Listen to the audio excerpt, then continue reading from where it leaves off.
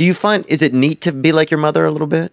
Oh, my mother's a really good person. Like she was, she she. The thing I really liked about my mother, one thing is that um, I could always make her laugh. So we Mm. shared that, you know, and so she thought I had a good sense of humor, and I used it a lot around her, and so that was really good. But she she was also 100 percent behind me, Oh, which is great. And she was my mother's a nice person, you know. She's an agreeable person. She she's a, caring person, but she's got a spine, man. And she didn't mollycoddle her kids. Oh yeah, she's also a very hard worker. So Yeah. she had that right. Like she she would take care of us and she was on our side, but she she threw us out in the world hmm. and she didn't interfere. So and and I could see that And that that's was one of hard your, for that's her. one of your steps in your book, uh, hmm. isn't it? That they, there has to be a little bit of danger when when kids play. Oh, definitely. What is it? Twelfth step, I think. Or? yeah, yeah. Oh, don't bother children when they're skateboarding. Yes. Yeah, because they that's right. Because if you're going to make your kids tough, which they better be if they're going to survive in the world, then Amen. you can't interfere when they're doing dangerous things carefully. Hmm.